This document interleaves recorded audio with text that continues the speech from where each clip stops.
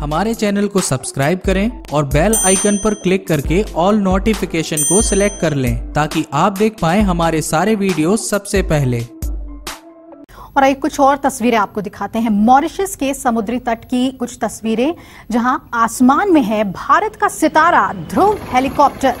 दरअसल, जापान का तेल जहाज़ एम वी वाकाशियो 25 जुलाई को मॉरिशस के दक्षिण पूर्वी तट के पास मूँगे की चट्टान से टकरा गया था।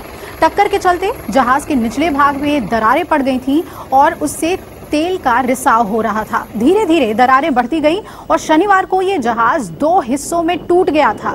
इस जहाज़ में 4000 टन तेल लदा हुआ था, जिसमें से 1000 टन तेल पहले ही समुद्र में बह गया था।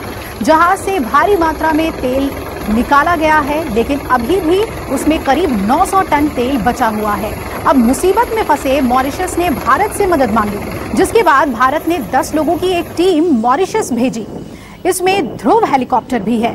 दोस्तों, आपको ये वीडियो कैसा लगा और आपका इस बारे में क्या विचार है, ये हमें नीचे दिए कमेंट बॉक्स में लिख कर ज़रूर बताएँ। साथ ही इस वीडियो को लाइक करें, जिससे हमें और वीडियोस बनाने के लिए मोटिवेशन मिलेगा।